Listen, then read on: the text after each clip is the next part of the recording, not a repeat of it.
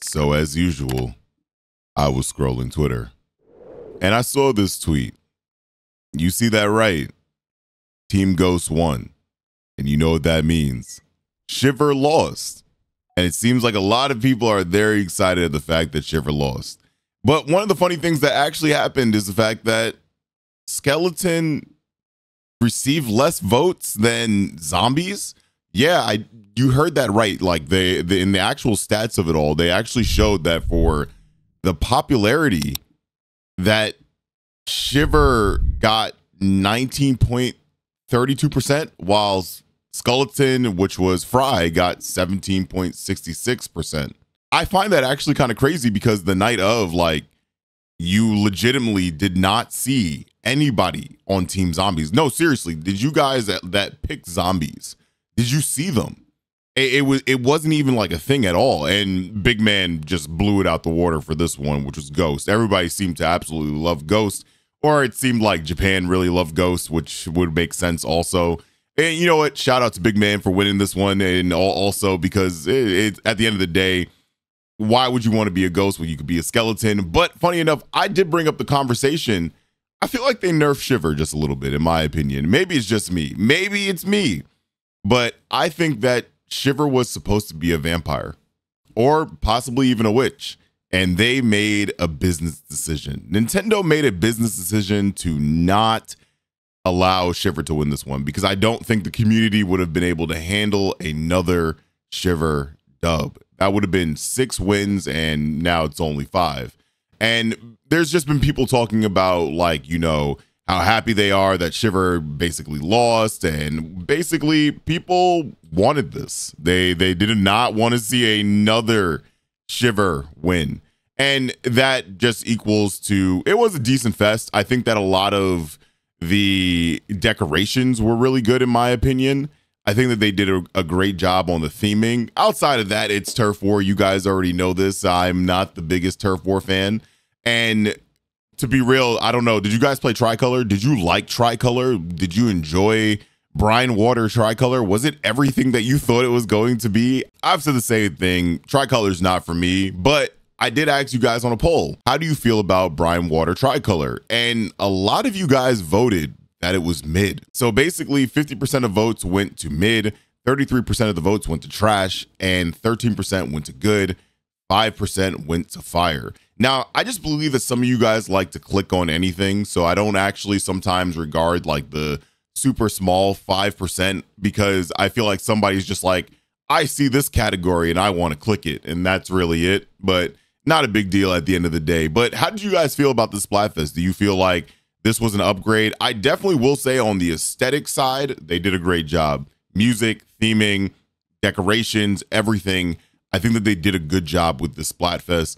Let me know what you guys think down below in the comments, please. I, w- I would love to hear what you guys think about this Splatfest. What do you think the next special Splatfest should be? And yo, guys, I need you guys to remember something. All right. We're here trying to reach new heights. So if you guys have been enjoying my content, don't forget to subscribe to the content. Ken knows, man. As I said, I've been doing my best as the number one professional yapper on the internet to bring you just information that is possibly more important than you could know. No, not genuinely. It's not. It's literally. I, have I've come to understand that I'm basically a talk show host for the uh for Twitter at this point. But yo, guys, just to let you guys make sure that you guys know. Also, the daylight savings tweet that I talked about yesterday uh, on basically on Friday. Just let you guys know that is for this upcoming weekend. I, I think I said this following weekend. That is for this upcoming weekend. So basically, uh, we are coming into the start of November basically October is finally over. So for the weekend of uh, from the third to the basically the fifth, obviously going into like Sunday morning, uh, I, I I don't like this, but outside of that, the times will be changing, and that's really all it is. But we're going to be moving on. So, Five Nights at Freddy's, which I'm going to be very honest with you guys, this is not my generation at all. I have no understanding of what FNAF is at all. Like genuinely, I'm not even joking. I just know the the memes, what's been on Twitter, and that's really it. So discussing films actually tweeted Five Nights at Freddy's earns the biggest domestic opening day ever for a video game movie with $39 million. That's actually kind of crazy because, like, I'm gonna be real with you. I didn't realize that people were going crazy for this movie. The Mario movie, I felt the hype for that, like, not even a joke. Domestic meaning obviously US. I'm I'm I'm gonna have to guess, but uh yeah, no, that's absolutely insane because the Mario movie did 31.7 million in domestic opening day. That's actually kind of I didn't realize that this this must be like genuinely for a whole entire generation like they're like obviously Pokemon is Pokemon but there for for those of us that were born in the 90s you understand what I mean when like that Pokemon era hit it was it just was everywhere and I maybe this is what it is for like a the newer generation in my opinion for Americans because I've saw after that like a lot more people talking about it, a lot more people just like being more excited before it. I just didn't know at the time, and that was more mostly likely just a me thing. So I guess maybe seriously, in all honesty, I saw this clip, and I guess the movie is this serious. I feel so Yes, you you saw that. Yes, people started breaking out fighting at a, at the movie for Five Nights at Freddy's. Now, I, I as I said, I I don't understand why. I maybe that movie is such a banger. Maybe somebody said something to change the opinion of other people. But yeah, no, you see that. Uh, it, it's kind of crazy. But let me know what you guys think. I, have never played the game at all. Never, at, never at all. Like I, I'm I'm sorry to tell you that the the Chuck E. Cheese aesthetic is actually horrifying. So I'm I'm very much good off of that. But let me know what you guys think in the comments down below. Remember how I talked about the fact that the Mario versus Sonic war is completely like it's over. I think that like Sega, if they don't even acknowledge that at this point, we all understand it. We all know that the head to head happened. And funny enough, nobody really like even called it a head to head because it's not even a competition anymore. But in Japan, it, it got really bad and I saw this tweet basically saying it was not a good idea to launch Sonic Superstars in the same week as Super Mario Bros. Wonder in Japan. Physical sales switch. Super Mario Bros. Wonder 638K. Sonic Superstars 4K. 4K. 4K. I, I, like I don't think people understand how insane that is. I understand that yes, Mario, but why would you even put this in the same weekend as Mario Wonder? Like that actually just makes no sense. Like the war is it the 4K physical that's in my opinion that is actually very crazy, especially especially with how well the Switch has done in Japan. It's it's very insane to me. I maybe to others, maybe it's not, but for Sonic, I know that Sonic isn't that super popular, but they even continued on to say Sonic Frontiers did better with 46k physical units at launch on PS4 slash 5 and Switch. It's the best launch for a Sonic game in Japan in the last 19 years. Sonic Superstars on the Switch came in with 4K sales, and sadly, the PS4 5 version did not even chart in the top 30 at launch in Japan. That is actually insane. Sonic has not been popular in Japan for a while in terms of sales. It does much better in the West, though. Here are the top Sonic physical launches in Japan via Game Data Library. Superstars would be number 15, 4 through 6K if we add all PS4 slash 5 and Switch together that is crazy. I don't like I understand that it may not be popular, but especially with like knowing the the market and the whole idea is to like get as many people that will buy the game. And yes, there will be people that buy the game maybe later on, but for your initial sales, I don't even know why you would put anything near Mario. Like genuinely, it's not. It just doesn't even sound like a good idea at all. And this wasn't even like the the next gen 3D Mario. Obviously, Mario Wonder does well, but like I would never, and this is like basically like the year of Mario. In all honesty, like I, I, don't know. I wonder if there's like another year. Is this going to be like the highest selling year of Mario, just in general? Like to be honest, like if that was ever looked at. Now, obviously, I'm not talking about like the movies and stuff like that, but mostly just like for gameplay. Like, is this about to be the year that Mario just crushes it? Because There's just so much Mario at this point in time. I would like I don't even know why they they tried this. They should have just waited for November or eh, maybe even December where it's Christmas and people are feeling a little bit more generous so they have gifts on their side.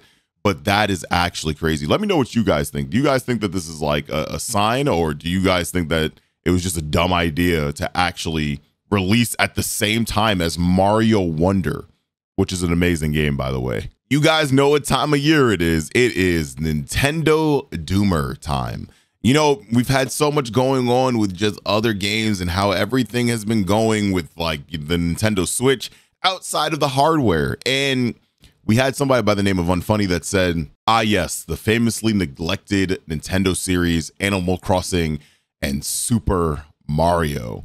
And basically, it's another YouTube thumbnail, possibly taken out of context. We never know maybe I got to watch the video to actually get an understanding. I saw that it was like 42 minutes, so I'm not definitely not going to be doing a reaction on this video.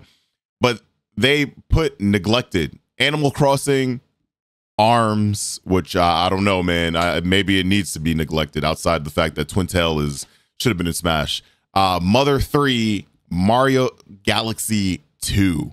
Now, it's very interesting when you talk about neglected series when you talk about these games that actually have had games. Now they may have not have been handled amazing. Animal Crossing, I'm looking at you. But uh, but I'm going to be honest with you. They they they they got games. There are other games that that deserve a lot more at this point in time. Uh, and just other people even saying that basically Mother is finished. And yeah, possibly they, could do remakes and stuff like that. But it's very interesting at this time of the year where it's like we just received everything. You even got an F Zero game in 2023. You got an F Zero game.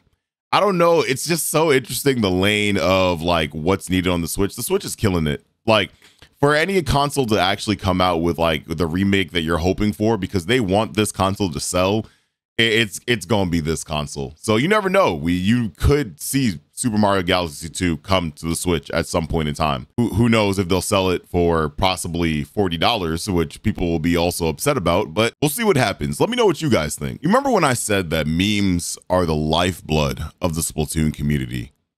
Now, this one image sparked a new meme in the Splatoon community. And for some reason, I, I it, all it was was a simple. And the thing is, like, you know, this person was sitting in the room and was just like, aha, I think the talking flower looks like a sploosh. And that's what they did. They combined the sploosh with the talking flowers in Mario Wonder. And this brought out all the modders because they were just like, yo, this is an amazing idea. So you just had Diem actually build the sploosh with the flowers on it and adding it to the body of the sploosh. Now, you thought that like, you know, all right, cool. They they just brought it to life and that's really all it is. No. This sparked this sparked someone adding it to a Trizooka and they said this effing unreactable special. Guys, I don't think you understand what started because it continues and they made it onto Killer Wail 5.1. Anyway, here's Wonder Whale by Ash Binary. And guys, as I said, the meme it just just keeps growing. And I, I want to see exactly where this can be taken to for just like in general, all memes, all in all honesty. If somebody can put this together with the uh Evangelion like background, you know, where the head is like out like out of the water and somebody just puts the flower there instead. But it even reached Salmon Run. Let me show you guys the clip.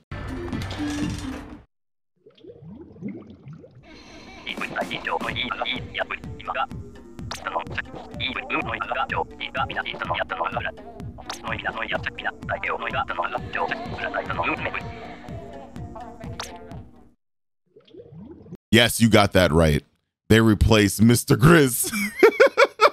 well, the the the radio with the flower, and, it, and funny enough, it it fits. The talking flower really does actually fit with that. Hey man, as I said, memes are the lifeblood of Splatoon. If you guys don't actually believe that, you might be lost because memes carry this game. So for our last topic, I have to ask you guys, how have you been feeling about Mahi Mahi? And the only reason I'm bringing this up is because Google Translate. Now, I, I wish that somebody can confirm this because Google Translate brought up one of the funniest translations because of the just like you know how it works. So there is this like Japanese like I guess like they're like a magazine web not well website that d- deals with Splatoon and basically it says sad news after the renovation Mahi Mahi changed from a narrow shit station to a wide shit station.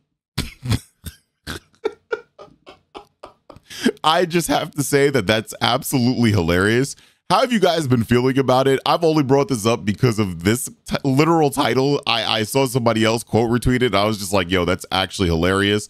But how have you guys been feeling about this map? Do you guys think that they did a great job with like maybe making changes? But in my opinion, I find this absolutely hilarious uh, because of the fact that it, it, it's just like I, I'm wondering if that's actually how they feel about this map at this point. Is that how you feel about the map? Like genuinely, what is how does Mahi stand with you at this point? And do they just need to give up and bring back old Mahi Mahi? Honestly, that's a hashtag we should get behind. We just need to like forget about the maps, forget about the in-game items. We need to start the campaign to bring back Splatoon 1 Mahi Mahi. Because and I don't know if that would absolutely break the game. Does it like it would is that is it too complicated at this point? But like just bring it back. Like just for a day. That would be a great thing to do. Just bring back like old like old maps like that and just allow us to play on them. Like even if it's not like a all the time thing maybe like it's a special weekend like splatoon one weekend i feel like that would be kind of dope. It would be just kind of like a way to like go back and look at certain maps that aren't in the game. That'd be a great special event by the way. That should be a challenge that they do with just bringing back old maps and like just allowing us to play on them again Maybe the because of the engines. I don't know. But let me know what you think about that. But as I said, I'm going to catch you guys later. Thank you guys for being here today. One thing I did want to bring up is the fact that I'm going to be doing replay Sundays on my Twitch account. Basically, what that's going to be is it's literally just us vibing and watching like people in my community's replays. And that's it. I'm just going to be talking and it's not going to be anything analytical just show you send your best plays. It's going to be in my discord. So if you want to join my discord links down below. But just put those replays in and maybe they possibly might show up on these videos also if you guys are down for that. So again i'm going to catch you guys later. Have an amazing day. Peace out